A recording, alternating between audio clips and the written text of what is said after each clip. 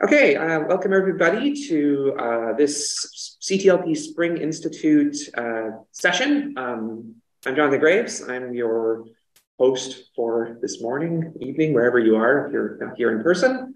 Um, so we're going to be talking today about uh, how to create interactive computational learning experiences uh, learning uh, Jupyter. So well, basically our sort of goal for today is to go over sort of briefly the structure and kind of the framework for what we're talking about here. Um, that should only take about 15 to 20 minutes, I think. Um, I have done other sessions and there's some more information um, online, for example, on my website about some of the bigger picture reasons why you might want to use this technology. But We're going to focus more on the, the creating aspect of this. Um, so just a couple logistical things. If at any point you have a question, um, feel free to raise your hand either physically or using the raise hand feature uh, in the room here. You can um, type a question into the chat. We have um, one of my very talented RAs from my, um, one of the projects where we're actually building some of these notebooks. Uh, Priyanshu, you want to say hi. Uh, Priyanshu will be here if you're in the online session and you have any like weird technical problems that you can't immediately short out or sort out rather. Um, Priyanshu can kind of give you a hand, move you into a breakout room really quickly and then uh, get that sorted out. So hopefully that won't happen, but we're there to, he's there to, to help us out as we go through this session. Um, any questions before we get started here? All good? Um, okay, so just to be aware, um, we have a bit of an experimental camera setup. I mentioned this before. So we have a, um, it's called the OWL here. Um, it's an adaptive camera system. So as people talk in the room, it will kind of move around and adapt. So you can kind of see me here. I'm in the bottom corner. And then we've got Ainsley and Josephine. So we should all be able to take part. Okay, so let's get started. Um, right, so why, like big picture, why would you want to use this tech, these tools or this technique? What's sort of like the pedagogical and curricular fit for it? Um, it's really flexible. So first of all, so I'm just going to give you some common examples of situations where I think it's particularly useful. But I think, you know, really as hopefully you'll learn by the end of this session, the sky is really the limit in terms of what you can do with this. It's, it's really how creative can you get. Um, but some of the common things are uh, the idea of data is really important to lots of different disciplines, but data always has this problem where it's really, really abstract. You know, you're talking about like the distribution of wages in Canada or, or something. And that's not, that's kind of hard to grasp what we're talking about, particularly when students are still building, you know, their intuition for some of these statistical, mathematical, or, you know, scientific concepts. Um, but often you want to show them like these cool patterns and things like that. Or you need to teach them how to do different kinds of coding, maybe, you know, basic coding operations to do analysis or computer programming or, or whatever. Um, or you want to demonstrate a new theoretical technique like an algorithm or something. The problem with lots of these is that, you know, these are major learning contexts in pretty much any course that deals with data or the systems that manage data or talks about the social implications of data. So it covers, you know, many fields in the, in the sciences, social sciences, even the humanities.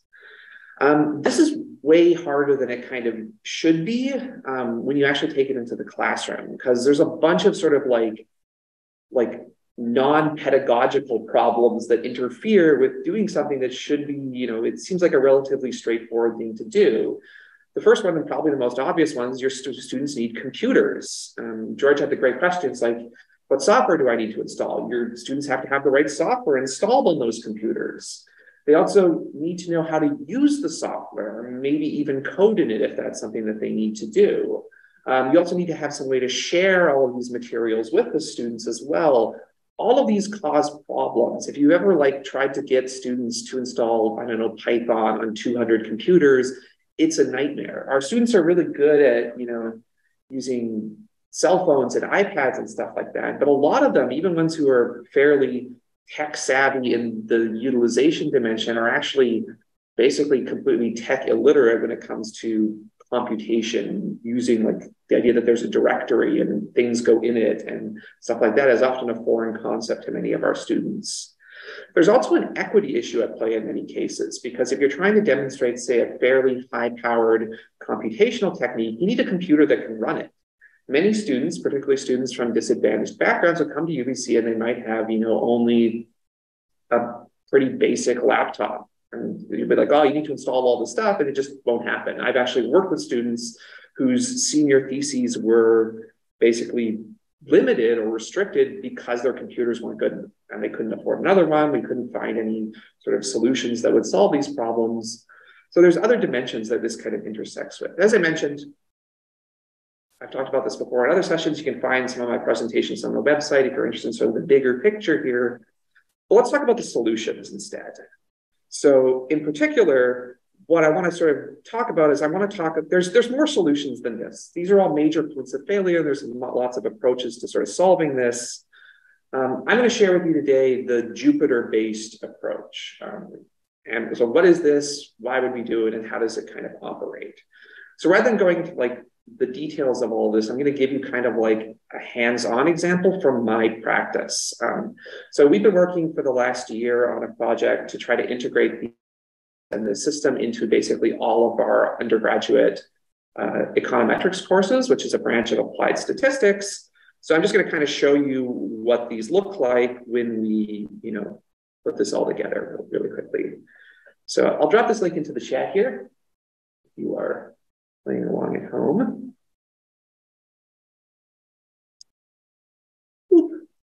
Um, so this is our web page for our Comet project here. We have a, uh, a large repository that keeps track of basically all of our statistics things. It's currently a work in progress. We're in the middle of a big cleanup right now for, for year two. Um, but I'll try to show you what you end up getting out of these, these notebooks at the end. So I'm just going to go here under basics. Uh, if you're following along, I'll go to the preliminary material. I'm just going to go down to this introduction to Jupyter notebooks page because it's kind of basic.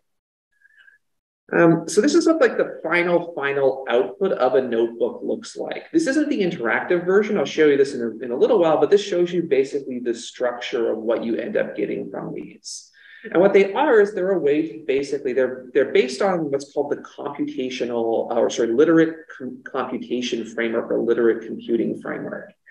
And what they do is they allow you to weave together different forms of content. So for example, you can see here at the top, we've got, you know, a nice title for our notebook. Um, so this is Introduction to Jupyter Notebooks here. We've got some information about the authorship. So my highly talented RA Attica worked on this and then I proofread it mostly. Um, then we've got, you know, you can write these in different ways. So for instance, um, we have sort of a standard structure we use for these because we use these in classrooms. They have sort of like a, an outline for the material. So what students will learn when they go through and they use these particular notebooks. Um, we also have, you know, references and readings. Um, when we get into them, you can have, as you can see here, there's lots of text that kind of talks about, you know, what the notebook is or introduces the theoretical concept or whatever it is you want to do. Um, and we this is sort of an orientation here. And then you can, you know, you can define things, you can look through them, and then it starts walking you through actually how these things interact. So this is kind of what you end up getting when you go through the whole process of putting together a notebook is you get a package that looks like this, but the key benefit of the Jupyter framework is not that it generates, you know, HTML output like this, but rather that this is interactive. Um, so in order to make it interactive, you need to launch it on a Jupyter Hub. So if you do want some inspiration, you can ch check out um, on the, the, the accompanying document for this one. I have a list of different teaching resources people have built here at UBC that cover lots of different use cases. This is one of them. So like you can see, we've got, for instance, like a bunch of examples of ones where like, you know, we teach, I don't know, basic central tendency and stuff like that. Um, but let's show you the sort of in action side of things um, just to get started here. So let me go back here. Sorry, I'm looking at a different screen. So there's lots of ways you can develop notebooks and you'll kind of get the flavor when we actually start building one. Um, you can use them as demonstrations when they're really highly sort of hands-off. For instance, we've worked with um, the Center for Computational Social Science and Sociology for basically people with no coding no programming or expertise, where it's really just like push buttons, make graphs show up, manipulate the graphs with a few different like basic things. That's really great. You can use them as projects. You can make tests or, you know, homework assignments based around these. That's something you can do. Um, you can, like I just showed you, you can make a website out of it. So students, even if they don't have an internet connection, they can just, or uh, uh, don't, even if they're not programming along, they can read along or use it as a reference. There's lots of different ways you can do it. I think there's, you know, it's ultimately about your teaching context. So, okay, that's the preamble. Any questions before we kind of go further here? So what I'm going to do in this session so it was the 15 minute introduction I told you. So um, what we're going to do is I'm going to show you how we can use uh, Jupyter here at UBC. Uh, and then I'm going to show you some of the basics of building notebooks uh, using the tools that are pretty readily available at UBC. Um, so this includes making your very first notebook, some tips on basic markdown, which you probably already know, but if you don't, it's really easy to learn um, writing executable code, different kinds of embeds or images. Um, then I'll show you some suggestions perhaps for assessment or more advanced use, which you can adapt and kind of go around. And then we can just kind of do a, a Q&A. Um, so that's the goal. Um, so hopefully by the end of this session, what you'll be sort of able to do is you'll be able to create a basic Jupyter notebook on UBC's Jupyter Open platform or pretty much any other platform that exists because they're all pretty standardized. Um, you'll be able to write markdown content in your notebook, which is cool because it looks nice and students can interact with it.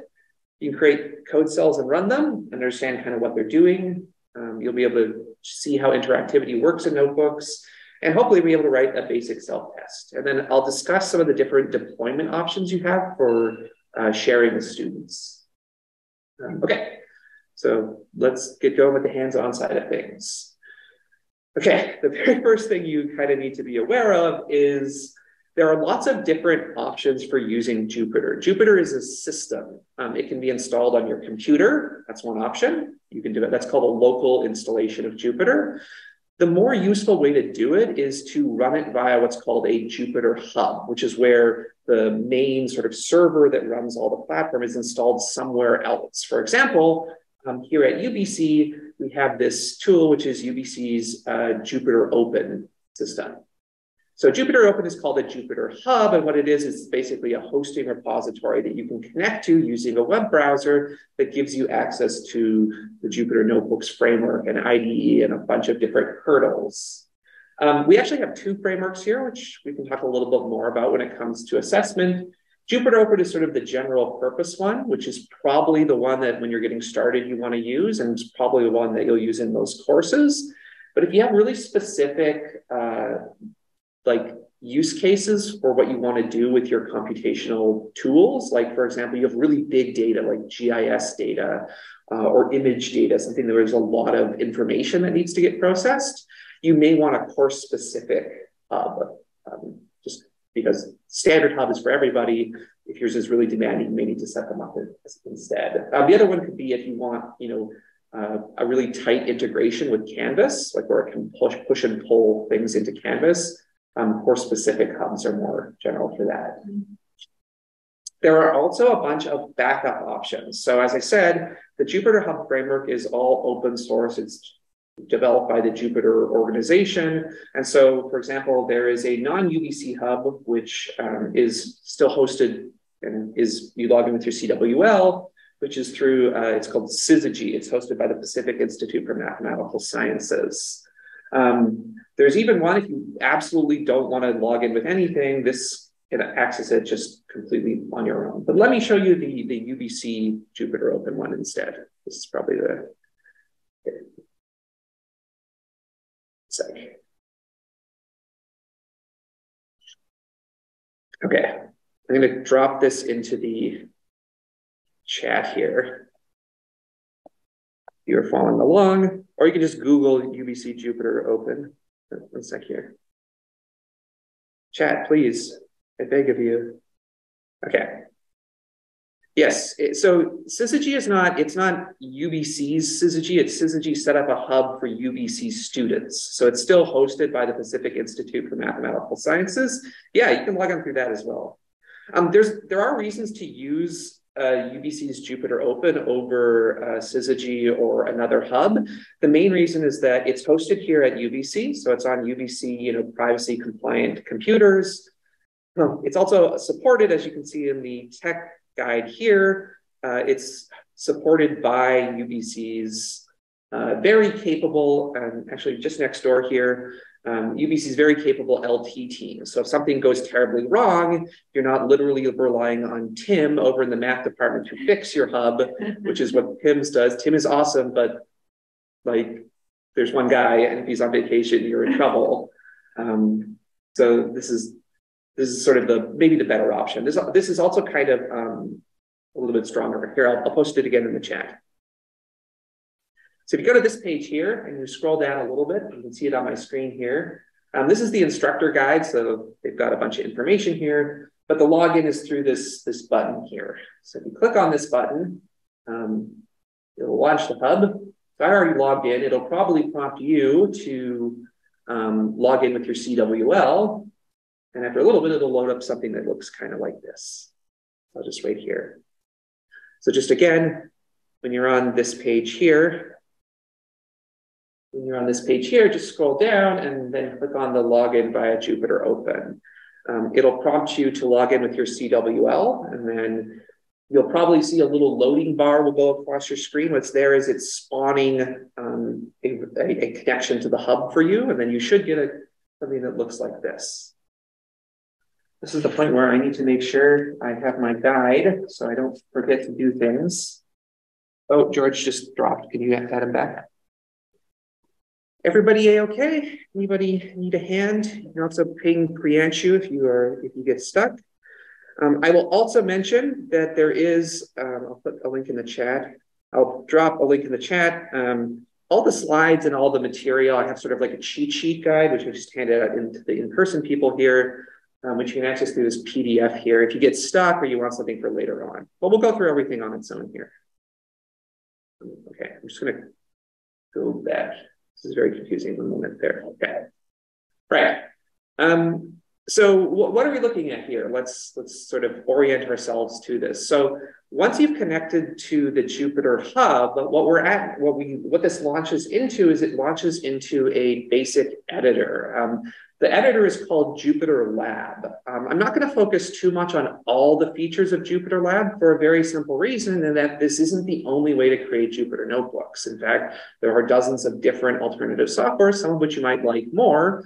The nice thing about this one is it's kind of what you see is what you get. So the output you're getting, you produce in this one is exactly what the students are going to see when you share with them the notebook and they access it via their hub. as well. So that's one reason to kind of you know, build stuff in this, although you can get more sophisticated as you go a little bit further. But let's kind of get into it. So when you connect to the hub, it'll spawn the Jupyter Lab environment, which looks like this. Um, and this is basically kind of like the workspace, kind of like Microsoft Word's like homepage when it opens up. Um, so in the center here, this is kind of like the quick launch menu. It's called the launcher. I mean, you see it, has got a lot of different sort of buttons here. Um, these are all at the top here. These are all um, where you can create or launch new notebooks. Um, so what are all these different versions here? Um, these are all the different computational environments. They're called kernels. So when I say kernel, what I mean is a computational environment that runs a particular kind of software. So you can see here, this one here is the Python 3 kernel. So if you wanted to make a notebook um, that was going to run Python code, you would use this one. If you wanted to make one that was going to run C++ version 14, you would make this one, Java, R, Julia, SageMath. There's, there's a bunch. Um, and in fact, there are even more than this. This is just the standard kernels that are installed on UBC's Jupyter Open Hub. Um, th does that make sense? So when you create a notebook, it launches a particular, basically, language. Hmm. Um, okay, so that's kind of like where you would create them. There's also some other options right? if you want to, you know, just launch a console to do basic computation without having a notebook, but these are the main ones you tend to work with because the, the selling point of Jupyter is the, the notebook. Um, let's just look over here on the sidebar really quickly. This is actually kind of the important part. Um, so if you look at the top here, you might not have it. It might have been hidden. This little folder is the directory. It's your home directory on this particular server. So on your computer, right, you're accessing this through a web browser. You've connected to UBC's Jupyter Open server here. Um, and so these are all the different files, you might not have any right now, that are currently on your particular, um, your particular server. So you can see I've got a bunch of folders because I've been using this for a while, but this is kind of where things would go. You can right click or the Mac equivalent or Linux equivalent, control click on this to, for example, just create new notebooks, or you can click on existing ones here to open up a pretty standard context menu, like renaming, deleting, stuff like that. So just think of this as being like the file directory or file manager. Yes, Josephine. I see your memory thing at the bottom. I don't see one on mine, and I was curious, how do you know like what sort of the basic, basic memory allocation you have? Let me just take a quick look see at your. Like I have nothing on there, but how do I know like as soon as I have like a CWL, I'm allowed some kind of resources. Yeah. I have some files, but how do I I have, know? I have two, two thousand forty-eight megabytes. Yeah, so you might be in the um, it depends a little bit. You may be in, so let me just show you. Um, you can tweak the settings for this if you look at the top menu. So the question was, um, I don't know how much memory I have. Um, it should show up when you're in the notebook. It'll show you the kernel utilization here. Um, everyone has the same amount. So you see you have two gigs as standard.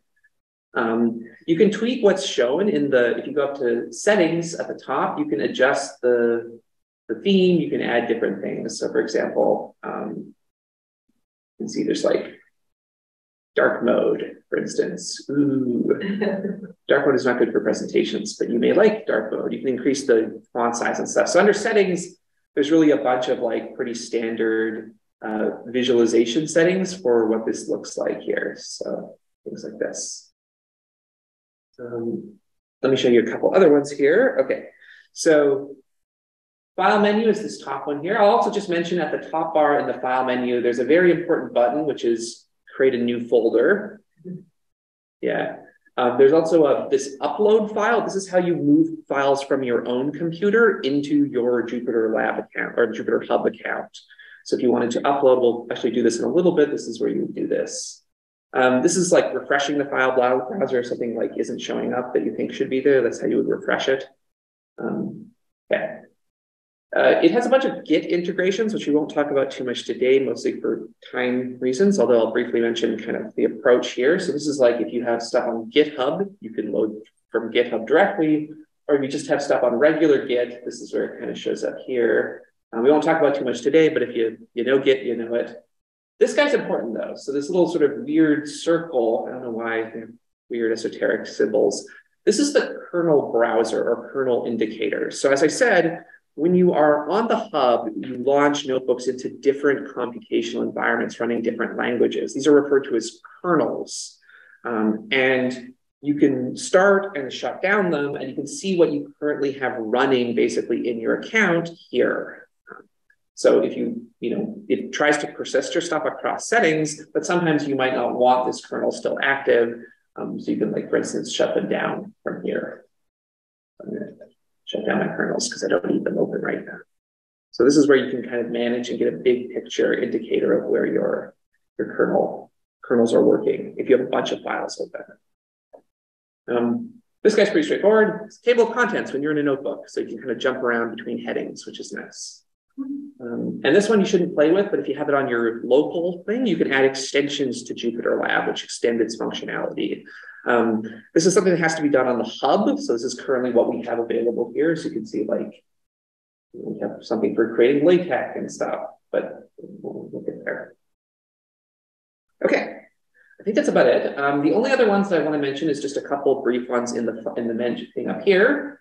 Good old file menu, which in particular has stuff like exporting, but we'll get to this. This is where you like save, export, download, things like that. Um, the run menu is where you can run different cells, um, in particular in different ways. And the kernel menu here is another way of accessing this little circle menu with a few more options. So you can like restart, rerun, do stuff like this. But let's see it in practice. It's it's one of the I think with all like tools, it's better just kind of use them and then get familiar and kind of figure out where things are as opposed to trying to learn like all the different menus. But I think it's fairly uh, there's also a pretty good help menu and there's tons of like good videos online. So you can like get different help things. Okay, so let's make our first notebook. Um, that sounds like fun. Let's let's do that. Let me make sure I have my my sheet here so I can remember what I want to do. But so to create a new notebook, um, it's actually fairly straightforward. Basically, what we want to do is we we click on the environment or the framework that you are interested in. So I'm going to demonstrate using R, Y, R because I'm most comfortable with it and it's the one that I know the best. So I'm less likely to make a mistake. But if you want to play around or experiment with, for example, the Python one, that's probably fine too. Um, but if you want to follow along very closely, R is probably your best, best bet. The two most well supported in the sense that like there's the largest community around them are uh, R, Python, and then Julia. But there are a bunch of different ones. So for example, SageMath is like a math specific kernel that's very, very well supported as well. So if you want to do like symbolic algebra or something, which is actually really helpful for demonstrating like complex factorizations in math.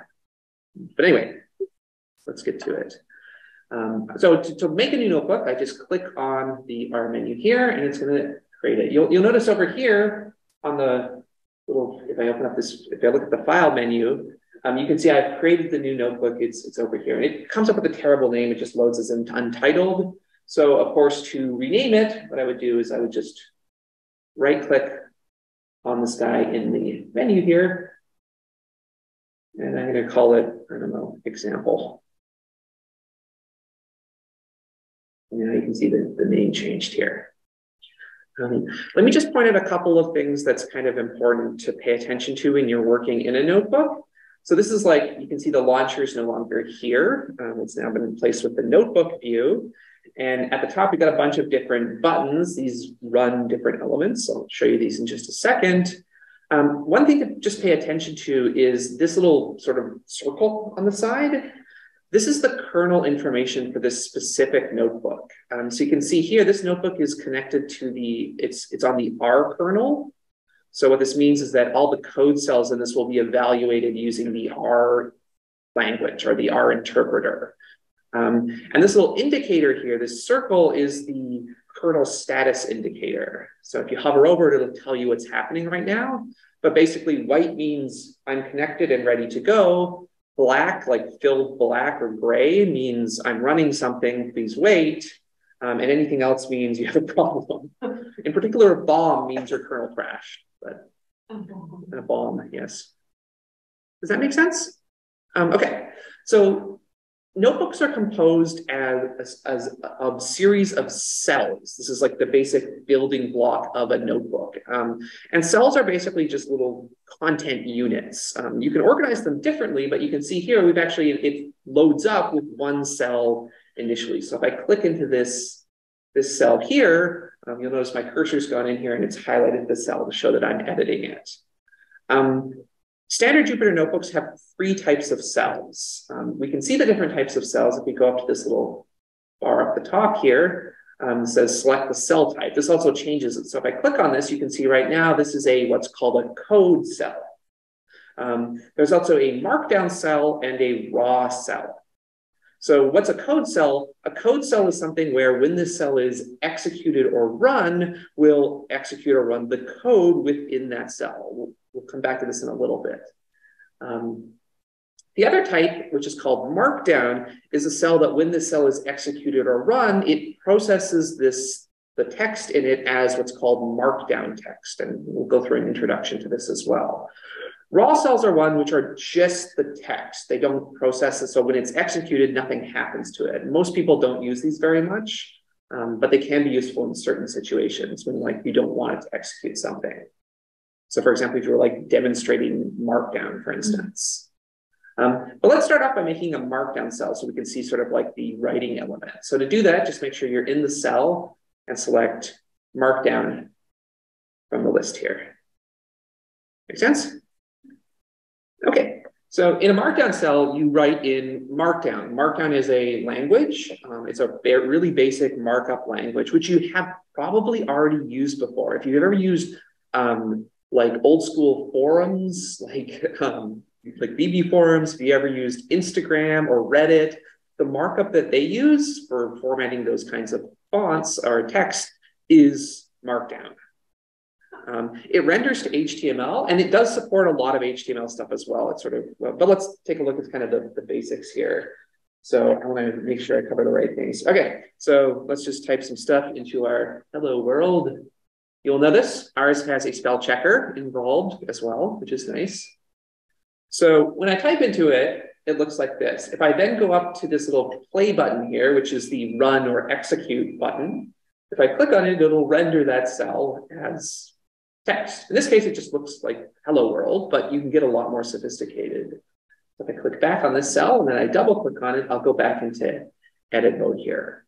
So the beauty of Markdown, and one of the reasons why it's so popular is that it's pretty easy to write basic, like standard human readable fonts and like or human readable text, but also include a lot of basic formatting options um, in a pretty straightforward and easy to remember way. And there's lots of good, I, I linked a couple of guides and stuff to Markdown if you want to learn all the ins and outs of it. But for example, let's say we wanted to like give our notebook a title. Um, we can use hashtag, which it highlights in blue.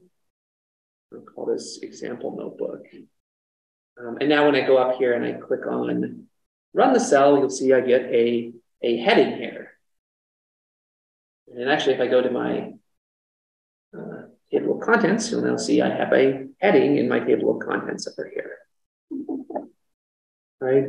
So headings, so your standard like H1, H2 headings that you would use in like, like Word or whatever are just more hashtags. So section one, markdown would just be two. And now you can see I got a section one markdown part and I can like pop around to the different parts of my notebook by clicking on them. Does that make sense? I think this supports up to six layers of these guys, but each one gets more and more. Make sense? So headings, pretty straightforward. Um, okay, but like, what if you want some more text here? Like, this is a notebook. Looks great, right?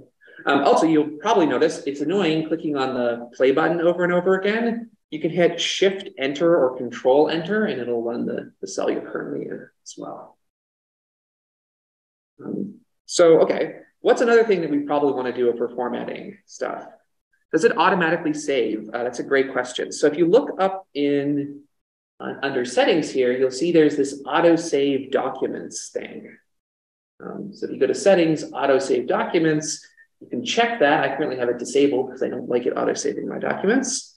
Um, and then what it will do is every periodically, I don't know exactly how it determines it, but it will sort of periodically create checkpoints to, to automatically save stuff. But yeah, you can save, of course, if you are happy with your notebook so far, you can save it by going up to the file menu and going save or good old control S. Make sense? So what's something else we probably want to do if you're formatting something for students to read or something? Italics and stuff. Okay. So you want to make emphasis, you know, make text look different. Um,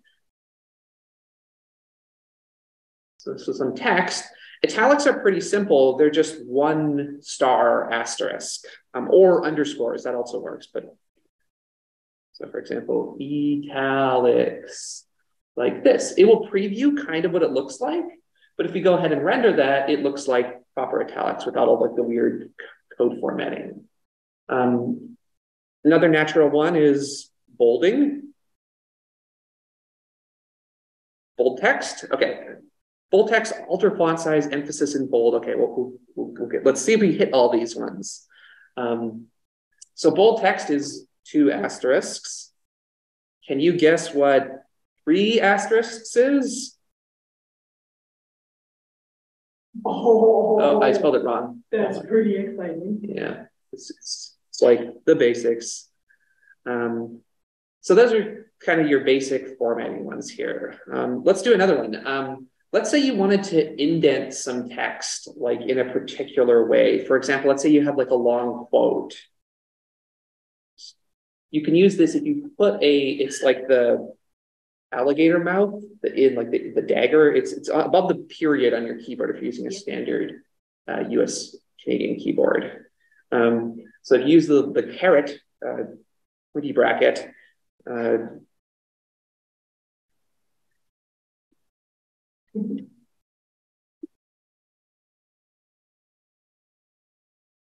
it will produce uh, indented and extended text, which can be good for having sort of like call out elements or things like that that you kind of want to do.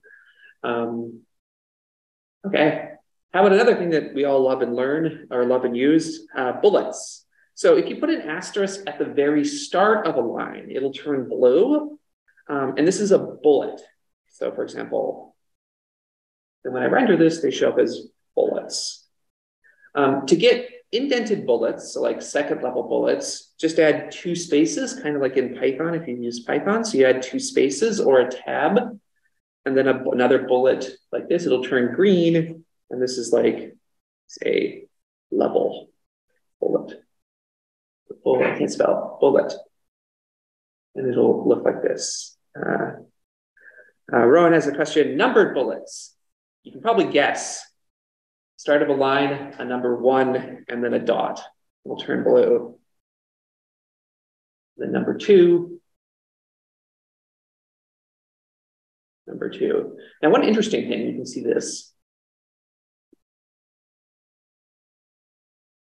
I can't type. Eh. You'll notice, if you take a look here, um, it'll keep the numbers in order. There's really no way to underline them. It just it thinks they're all numbers here, which is kind of undesirable, but it's just the way that it does these things. So you can see it's like one, two, four. It thinks that they're numbered bullets, doesn't really care what the numbering is. So you, but it'll render as one, two, three, which is sometimes a little counterintuitive.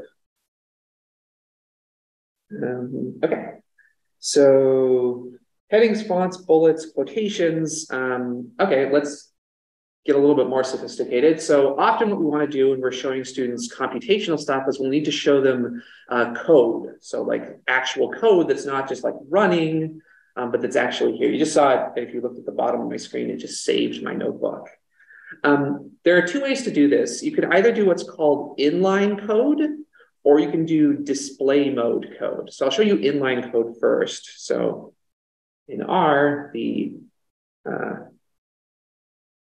why? So let's say I wanted to refer to like a specific function. If you use the backtick key, which is on a standard keyboard where the tilde is above your tab, um, you get it's like monospace formatted. It'll look like this. Library function is important. And then when we render this, it'll show up as like monospaced kind of offset code elements. So this is often useful when you want to refer to something that's like a computational thing um, or like a, an object that you want to have that kind of monospace formatting. Um, so again, that's the backtick operation. Often when we have like chunks of code, we want to like set them up in like a, an environment that kind of like they set off from the rest of it. Um, you can do this with three of these backticks. So tick, tick, tick like this, and then another three to close the environment. So like, here's my, let's type. It's like writing on the board, eh? Yeah, kind of. Um, and this will render, you can see it kind of pops off in an inset environment that, that looks like this. Um, some flavors will also, if you put a little parentheses here and then you put a bracket around it, may also recognize it as um, what type of language it is. So if you put parentheses and then the name of the language, um, some Jupyter hubs will format it, like it'll give it like colors and stuff, uh, syntax highlighting, um, but you don't have to do this, if that makes sense. So this one doesn't, but say it'll be. Does that make sense? Any questions so far? Those are like, I think the I, this is like 99% of all the coding that I do in or writing that I do. And what's great about this is that it's it's really easy to learn. Like you, you really don't have to learn any of this. Like it's almost second nature once you kind of get the, into the swing of things. Um, does it? Yeah, it, it represents it like an indented snippet. That's that's right, Rowan. Um, okay, so I'm in um, I'm in economics, and we do a lot of math in economics. So math rendering is something that's really important for a lot of fields. Not all fields, but let me show you how to do that. So similarly to this like monospace thing, there's two modes for math in this. Um, it's supported using a framework called MathJax, which is a very specific kind of LaTeX, if you know what that means. Um, so if you want to make inline math expressions, you use dollar signs, just like the backtick. So um, this is a math equation, math equation. So I put a dollar sign here and then I write like, and then put another dollar sign and then it will highlight it. And right now it looks like garbage, but when you hit enter, it will, oops, mine is not showing up properly. Um, spaces, one sec. So if it doesn't change No, color, you it's not showing up. there's something. Yeah. Why is my math not rendering properly? Okay, let's try the other one instead. Okay, that's better.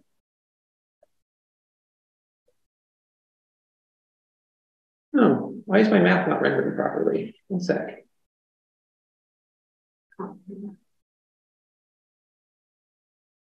Hmm. I'll have to come back to this. I'm not sure. Anyway, this is the standard format for, for using your math expressions if you're doing these guys. Does yours work if you have yours? Um, yeah. Yeah, give it a shot. I don't know. It might just be my renderer that got stuff here. I don't know. I'm getting an unexpected symbol. Oh, yours is working actually. Okay, I don't know why mine is this one. Yeah, it's just it, it doesn't understand. You're in a code block here, so make sure you're in a markdown block. Ah, yeah. Does yours work? Okay, so I don't know. Mine's being funky for reasons, whatever. Oh, it worked. Oh, brilliant. Okay, so I don't know why mine's being problematic right now. Maybe I'll make a new cell and see if it would work better here. Any tips, Priyanshu, if you let's try here. There, okay, that worked better. I don't know why this one isn't working. But anyway. So we'll we'll do it here instead. So you can see if in my second markdown cell here, dollar signs, this is like an inline version. Inline code, or inline math rather. This is inline math. Um, and then if you want to make a standoff equation, you can do like, this is a display mode equation. You do two dollar signs um, like this on either side of this, and then you put in here like, uh, so also if you're familiar with LaTeX, um, LaTeX supports, this supports most standard LaTeX, like any of the AMS math or AMS sim formats, which are like the standard LaTeX ones. So like, for example, you can do like, like pretty, you know, it doesn't support everything, but you can do like, you know, more complicated expressions. Don't worry about this if you don't know LaTeX, it's not a big deal. Like you can do like basic LaTeX expressions and stuff that looks this. Don't know why mine doesn't like working there. Oh, So and it renders really nicely. So math is important for many disciplines. So you can make it render nicely in math environments. This is quite important because often we want to sort of explain something or whatever, and, and you can do this. And students can also write this if they know LaTeX as well, which may be the case for more advanced students. Does that make sense? So LaTeX is another important one. You can embed math expressions into your thing. Um, you can also embed uh, images or uh, URLs. So let's do that in another cell down here. So I'll make a new cell for my um, why would you want to split stuff, up across different cells? You can preview chunks more readily. I think it's probably the biggest one. So there are three different ways to use URLs when you're doing LaTeX, or, or when you're doing uh, Jupyter rather. So like, let's say we wanted to link to ubc.ca. You can just do this, like it, it will totally understand that and it will give you a link and that will work. If you want to be a little bit safer, in the sense of like you want to make sure that it really knows it's a link, you can enclose it in um, like pointy brackets. And then you can do this instead. And it's going to render exactly the same. In my case, it looks like this, but it'll render exactly the same. And it'll, it'll, it'll look the same as both of them. You can also do, um, if you put in this square bracket, then you put here,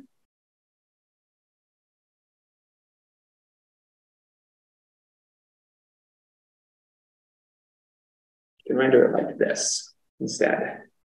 So this is this is the most preferred way to do it is you either do it like this or like this. So this is like where you have the um, the human readable version of this, and then this is the URL. The reason this is preferred is because if people are using a screen reader, um, yeah, it's like for HTML code. Um, if you're using this, if, if, your students are using screen readers, which is actually quite common, um, especially for students uh, with visual impairments or even students who are like English as a second language, where they're using like something to help them read through, this provides like a more well, this will read better in their screen reader. So this will this will show up properly. Whereas this will just read out like www blah blah blah. Um, yeah, the second option is much more accessible. So this is strongly like preferred this option, and you can you know make it as spiffy or not as you want. Hello, hello. Sorry, you have to catch up quickly. um, okay. Um, you can also embed uh, images and other things. So in this exactly the same way you embed URLs into your document, you can also embed um, different images into these things as well. So in order to do this, however, you either need to have a URL to the image that needs it needs to be on the internet somewhere, and you're going to pass that URL to it, which is usually not a good idea unless you own it, or you need to upload it into your folder here. Go up here. So hard. Um, so we can see in our directory here, this is where all the files that are available. So when we want to embed or link to some other content, it actually needs to be on the internet somewhere that we can access or it needs to be in our Jupyter folder here. Um, do you want me to get you started really quickly? Oh, no, I'm, is the Jupyter open? Yeah, yeah, you're, you're good. Okay, cool. Um, so let, let me sort of show you. So let's suppose that we want to upload a picture from our computer here. So I'm going to go to my, I'm going to click on this upload button. One second.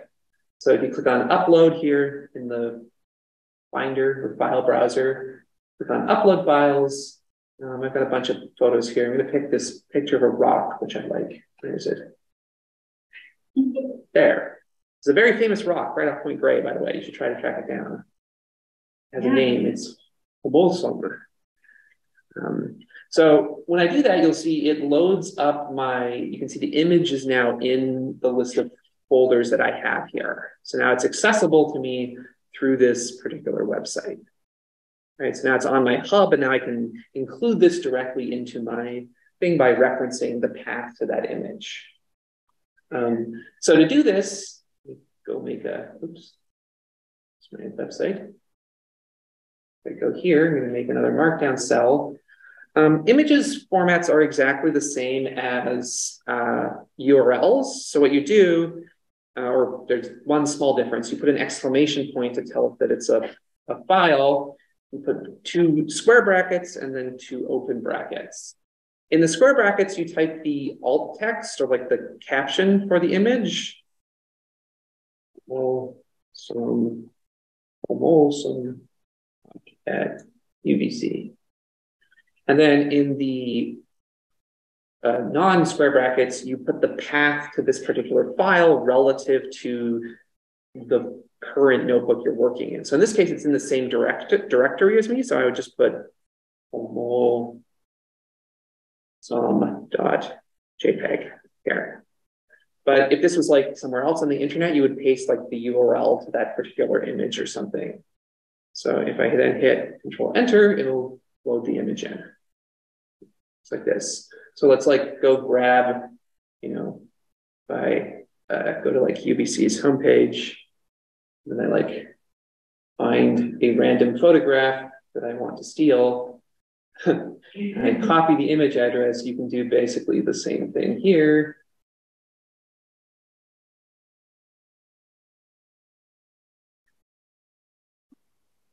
We have this image here, and this will also work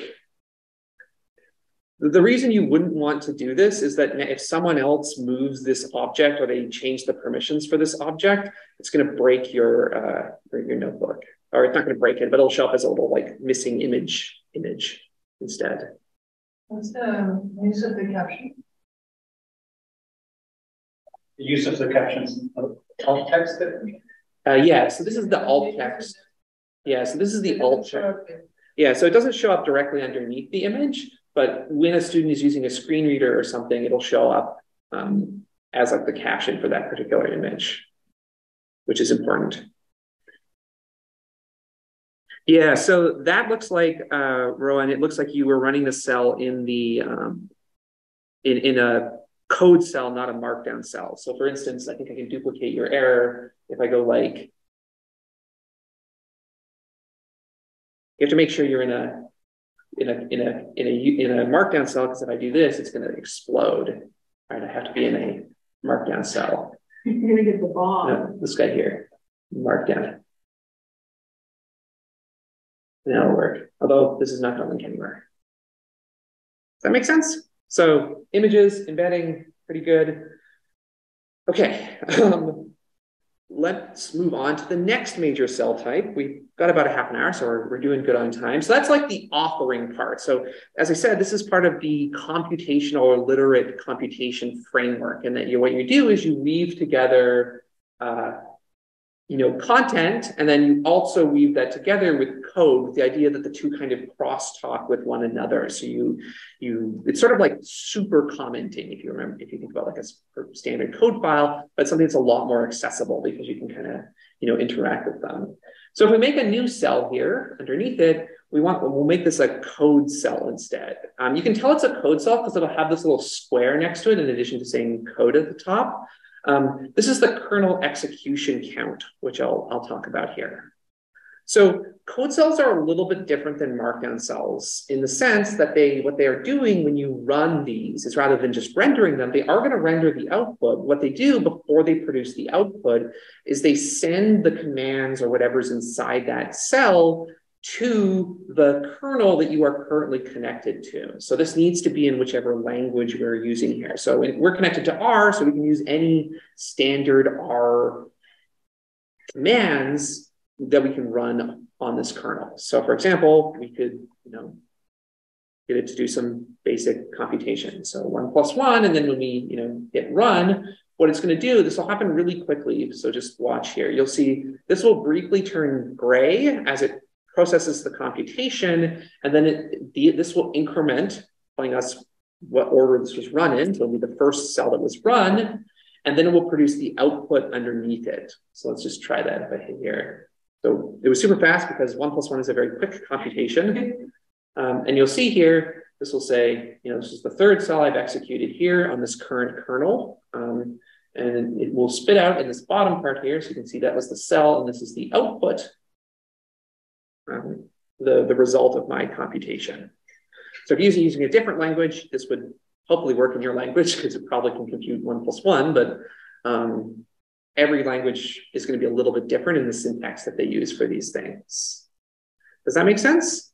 And this is really where the beauty of Jupyter Notebooks comes in because this is just like having a computer, like a, a, computer on that you're accessing where you have a connection to the R language. So you can do anything in the R language that you would do more generally. So, or whatever language you're using, you know, Python, C, Sage Math, whatever, it can compute any of these things. So you basically have access to a fully functional computational environment, which means anything you or an RA or someone else on the internet who can program into it can, can run this on this, which gives you basically unlimited scope to creating different kinds of visualizations, interactivity, things like that. Um, there's there's just enormous ranges for what you can do and, and how you can do it. Um, I'll point out a couple of common ones that people use a lot. So for example, like Plotly is a really popular framework. Um, yeah, so one thing Rowan points out here, code and markup are mutually exclusive. So they're different cell types. So although you can add comments in here, just like you would in regular R codes, so I'm gonna put a downside a comment, that will be fine. Um, this isn't going to render as markup. Right now, it will process the output as well as it can. Um, so it tries to do it sort of as intelligently as possible. So I'll show you a couple examples here. So, you know, maybe let's do a more sophisticated code cell. So I'm going to load the tidyverse library, which looks like this. And then I'm going to, I think this is the way to do it. This should work. Uh, there's no, and you can put typos. Um, this is also really good for teaching people to, to code because you can see all the, you know, it'll just get perfectly computed objects here. So you can see what I did here is I, when I, I made a typo first, and then, so what I've done here is I've loaded the tidyverse package and it's spitting out the, the output. And then I've also created a data object here, which is, um, this is a standard package in many computational languages called the iris data set. And it's like bunch of flowers, irises. Um, and then we can, you know, if we wanted to look at we wanted to look at the iris data set, we could, you know, uh, we could look at, uh, let's do this head of iris here. We could do head iris here. We've got this thing that looks like this. Um, and you'll notice it, it kind of tries to render these as well as it can, right? So you can provide it with other post processors and stuff that you want to use within your, your, your tool set here. Um, but now we can pretty much do anything we want with this. You can compute computational stuff. You can, you know, uh, just going to make a quick graph here. Iris goals Sepal dot. Don't worry about this if you are coding along at home. Do whatever you want. Y equals Sepal dot width uh, color equals species. I can do Oops, and I need to not. Okay, it worked. Now I just have to display it. Ta-da! Uh, the point is, I'm not going to, you know, go over R coding because you can learn whatever you want, right? The point is this has access to all the underlying functionality of whatever language you're working in. So you can kind of dump anything you want into these notebooks. And moreover, this might look really intimidating to students, but you can also encapsulate these in other, you know, helper commands to make things more accessible to students depending on the level at which the students are kind of at in their particular, you know, learning or whatever. Um, and there are many, you know, interactive frameworks that people have in different language. So for example, in Python and R, Plotly is kind of designed for this thing where you have, you can create like interactive visualizations that kind of look like this. There's lots of different options for this. But the point is, if you can program it, or you can get an RA to program it, you can put it into a notebook and you can make it accessible to students. Does that make sense? Um, so it's, it's very, very powerful because you have access to pretty much anything you want. This also gives you the option to do kind of clever stuff that you otherwise might not be um, immediately able to do within a sort of standard um, markdown language. So for example, embedding videos is something that we often want to do.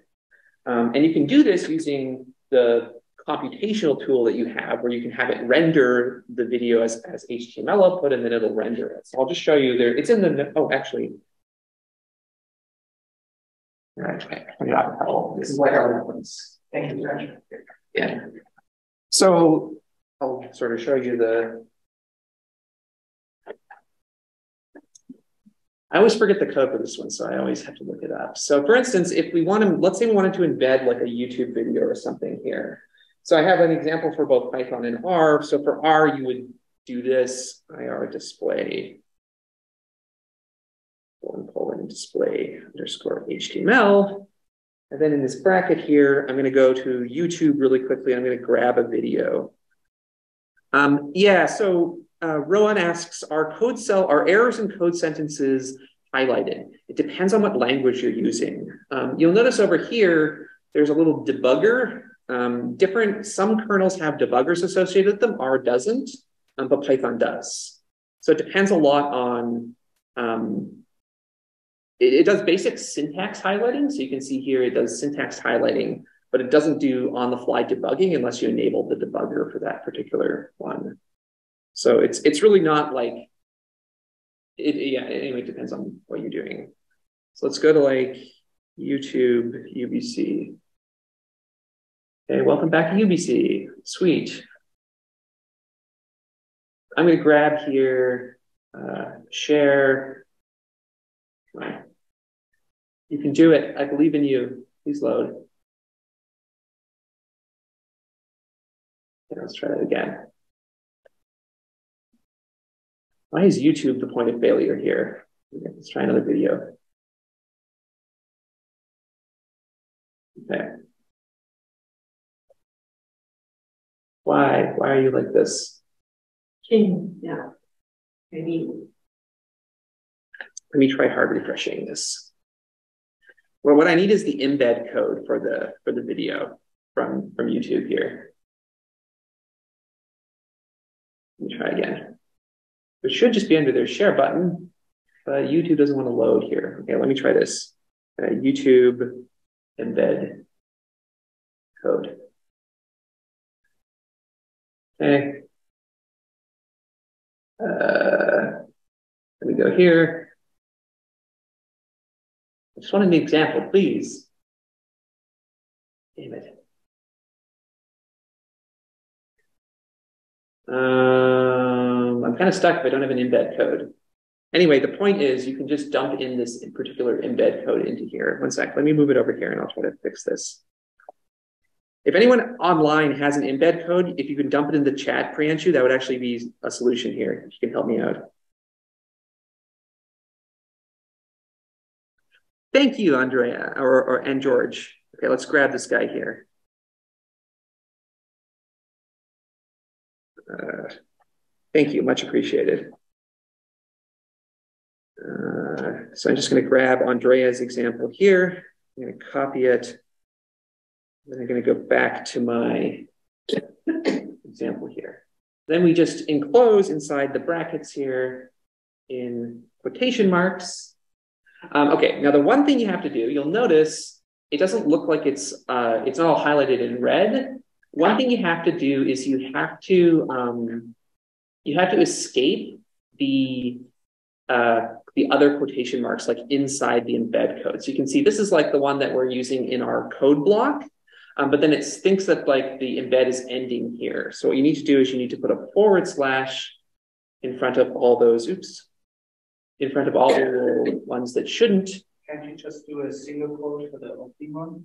Can I? I'm not sure. That would be. Usually you can. So if you do the Let me try. R can do both single quote and you Okay, so let's- very first one with a single I'm learning something new. Hopefully, let's try that. and then Oh, game changer. That's so much better. Thank you.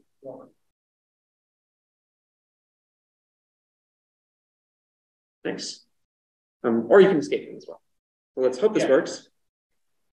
Yeah, it worked. Okay, sweet. Now we have a nice little video here. Great.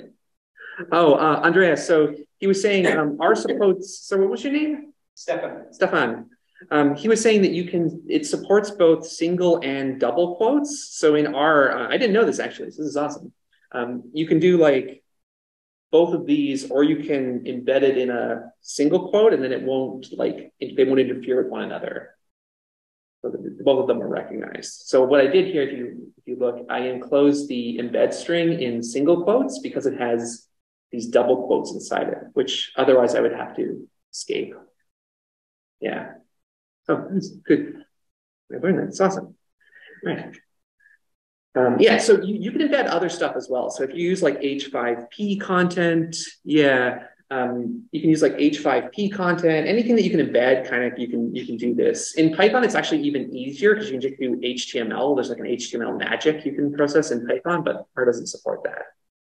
Um, okay, so that's sort of like I think the big picture, like most important elements for these. But let's talk a little bit about like student use and encapsulation, because one of the things that we want to do when we're producing notebooks for student use or in teaching contexts is there's stuff that we want students to focus on, and there's stuff that we don't want students to focus on when they're when they're doing something. So, for example, um, this happens a lot in, in some of my things. Is we often work with real world data, like data from the Canadian Census or something, and that data often, in order to get it to sort of the point that student where we get to the concept we want to be understanding, requires a bunch of like pre-processing or cleanup or, or something, right? And you could, you know, have your first cell be like this gigantic monster cleanup cell. That is fine. The problem you face is that you probably don't want students to see that. Um, another thing you can do is you can also have um, these cells here, your code cells, since they're interactive, you can make them self-tests or self-assessments. So for example, if I had like, let's make a markdown cell here and we say, what is the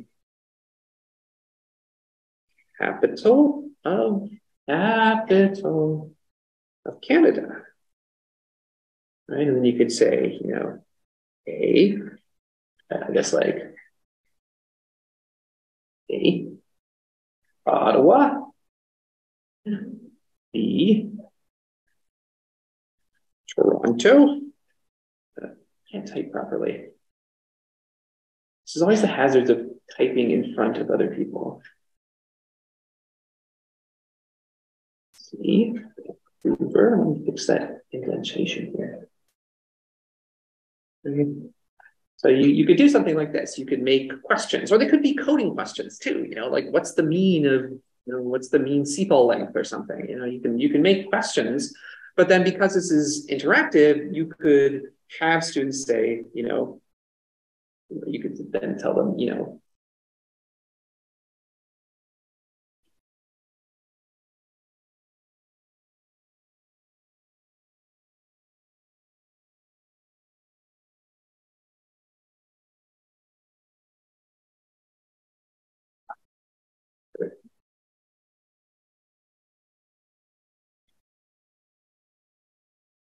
right? Or you can put like a question mark here.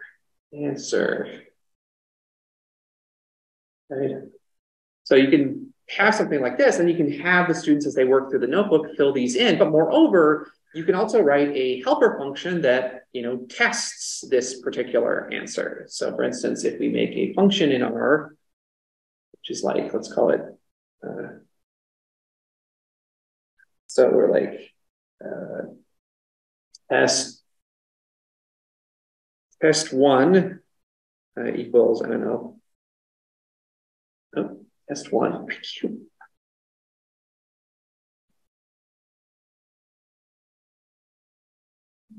So I'm just making this.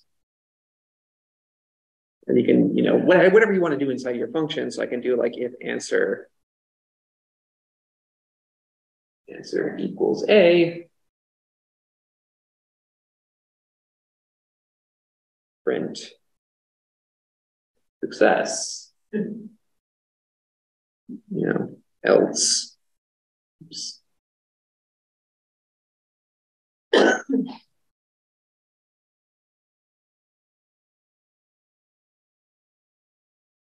Now you could do something like this, and then you could have the answer down below. You could have them run, you know,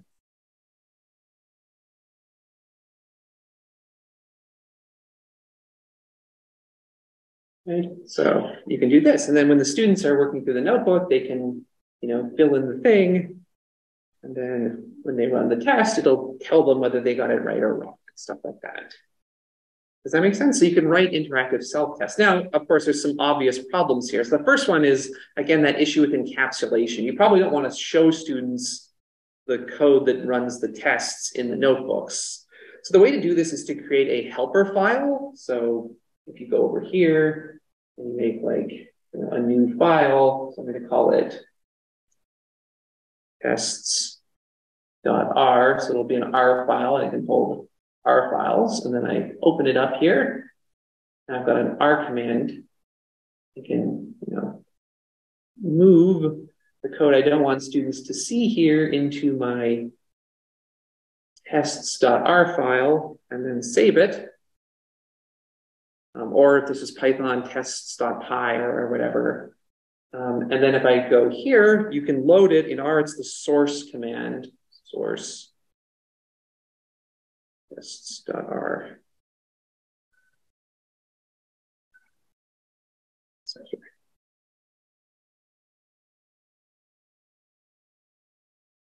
Okay.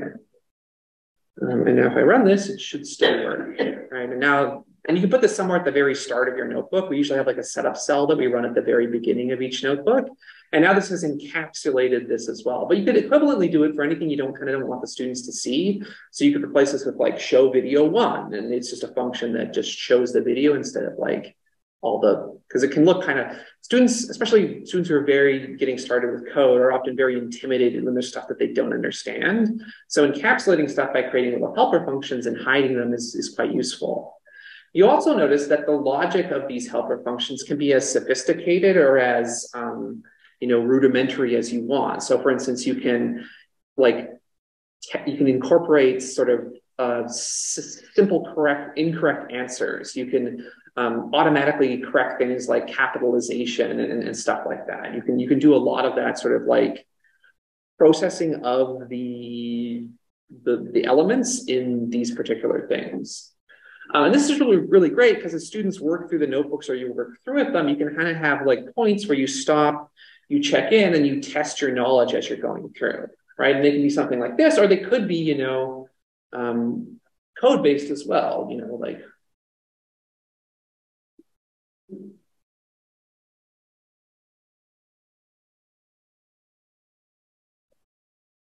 Right, and then you could have like, you know, um,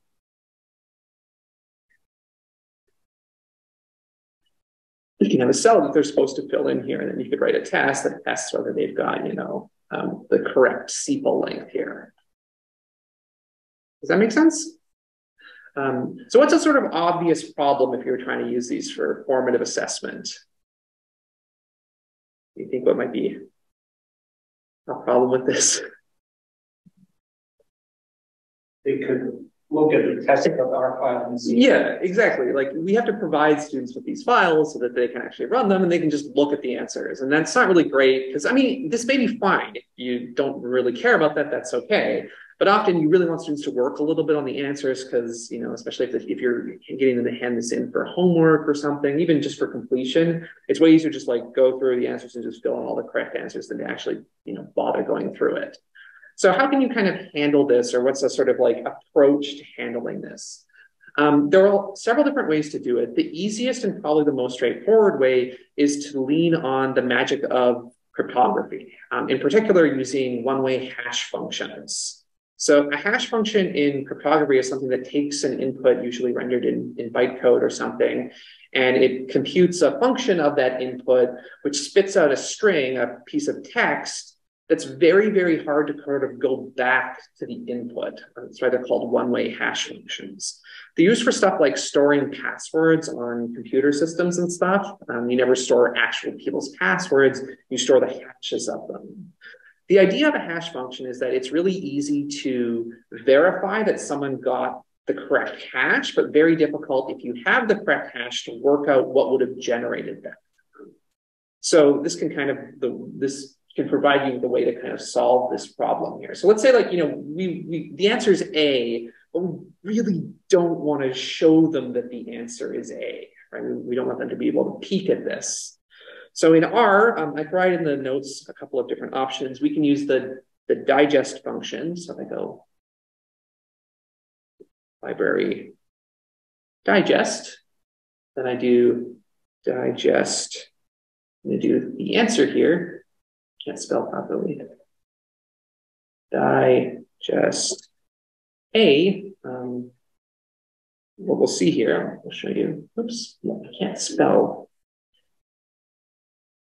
So what it does with this digest function, what it does is it takes in this input, and it can actually be any R object, although it's usually um, best practice to test sort of the minimal correct answer, um, the one that's like the least prone to any sort of uh, uh, like manipulation by students. Uh, and so you can see it produces this big string here instead. And this is the hashed value of A. And you can see, you know, even if I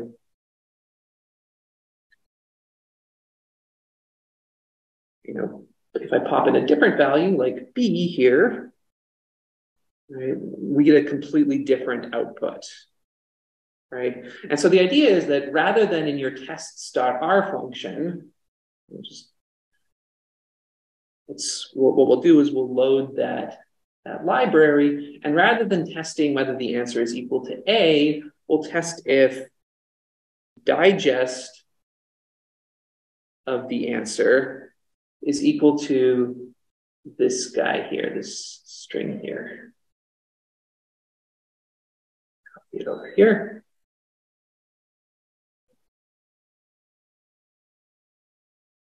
Make sense? So if I save this, then I go back here and delete those guys, don't need them anymore. Um, should work, I'll, I'll, get a success, but if I put in anything else, like B, which is the wrong answer, I'll get a whoops instead, right?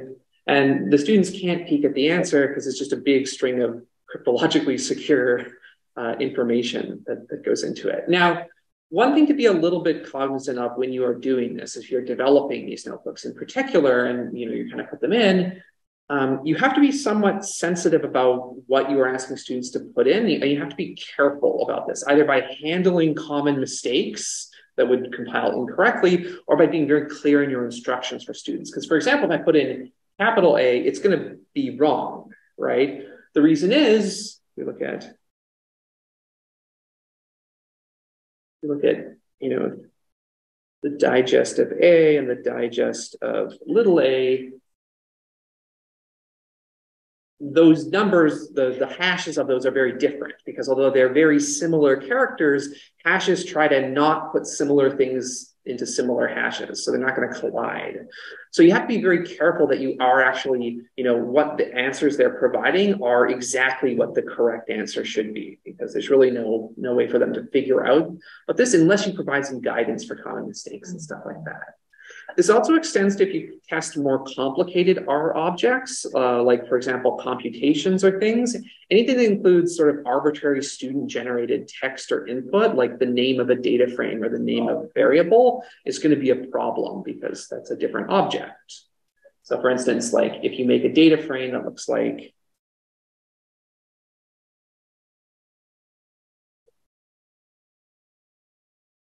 you look at a data frame that looks like this, and then a data frame that looks like this,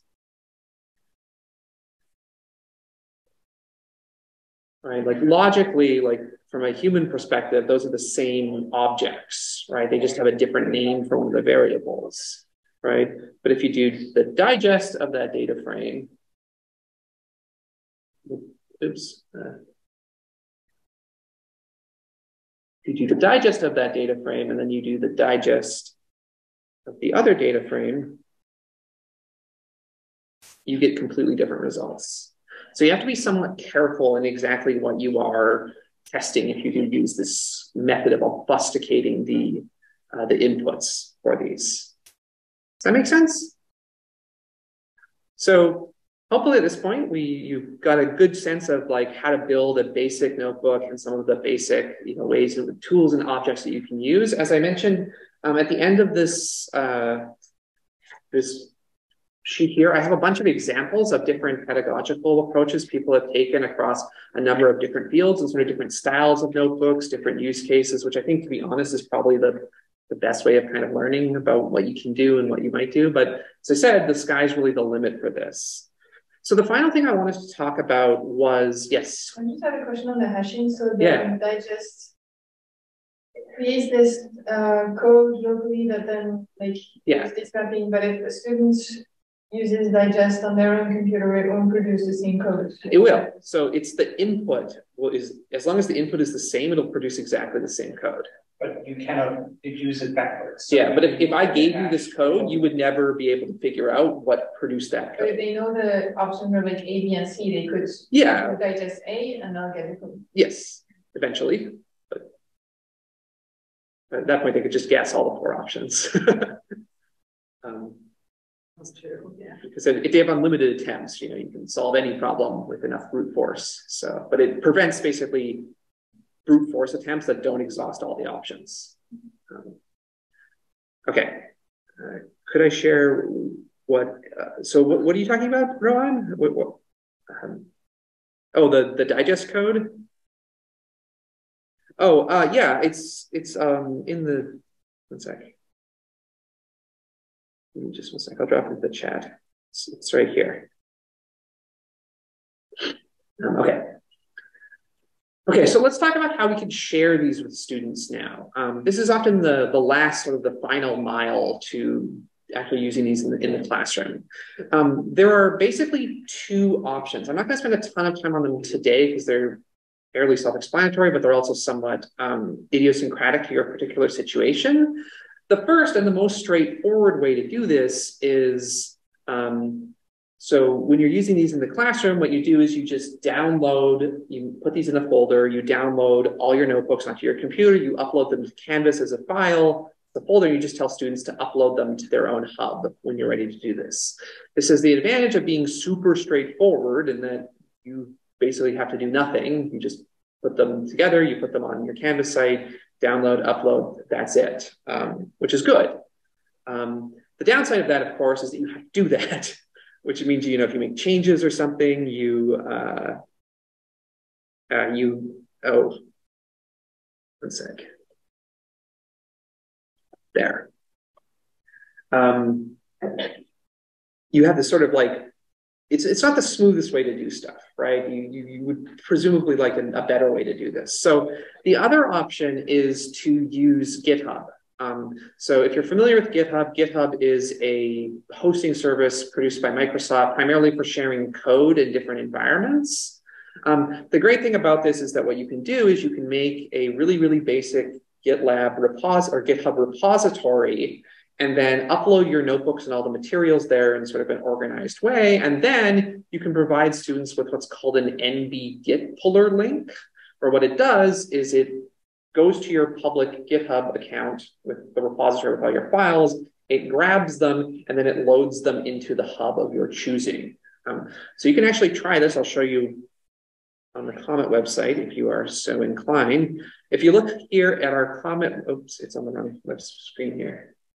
If you look here at our Comet website at the top, we have this launch Comet button, which if you click on, has a bunch of options for where you can launch it. Uh, if you look down in the bottom here, See this bottom? This is an NB git puller link. So all this really does is it sends a command to your hub to pull from my repository where I've got all these notebooks living all of these particular objects. So let me show you what this looks like from the, from the setup side of things. So if we go to my GitHub account, so you go to GitHub, um, here's my GitHub. Uh, actually, I want my public one. This one. Uh, okay, so if you look here, we've got this little super basic Git, GitLab, GitHub repository where basically what we've done is we've just uploaded all of our notebooks. You can see them, they're all sort of organized into folders here. So you just make a GitHub repository and then you upload the folders and files that you would like to share with your students. So you can see many of these examples also in some of the, the examples here, but all you do, like bottom line is you just make a repository and then you upload your files here. It doesn't actually require you to know anything about Git, which is kind of nice because that may be a, a step too far for people who are just getting started. So make an account, upload your files here, and then here's you can generate a link through nb git puller. You go here.